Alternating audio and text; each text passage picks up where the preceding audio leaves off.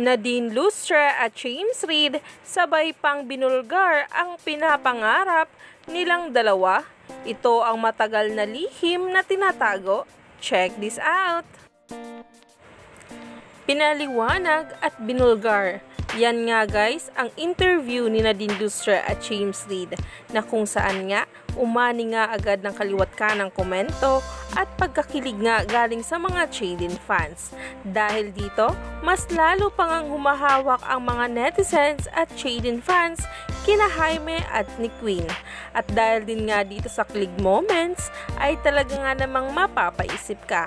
Ano nga ba ang video na ito kung saan nga marami ang kinilig kahapon at marami din nga ang nag-tweet na mga artista. At ito nga guys, tara panoorin natin ang buong video ni Nadine Lustre at James Reid. Uh, dream concert.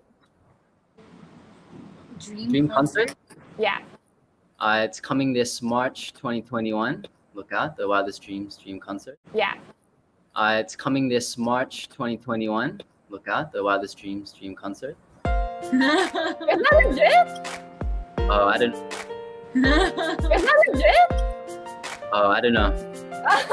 Am I allowed to say that? We'll see. We'll see.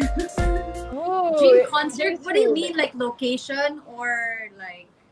Or person you would like to see, or maybe no. We'll we'll do location. Where would you have your dream concert?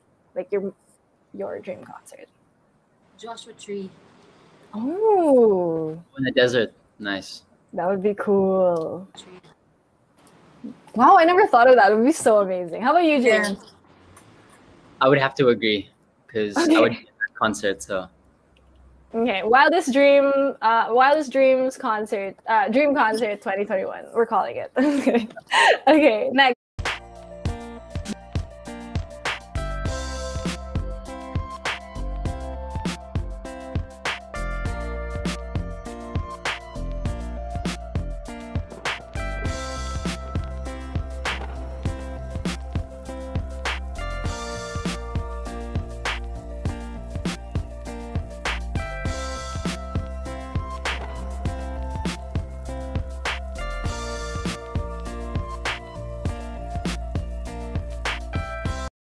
For more videos, please subscribe to my YouTube channel at i-hit mo na rin ang notification bell para updated ka for my JD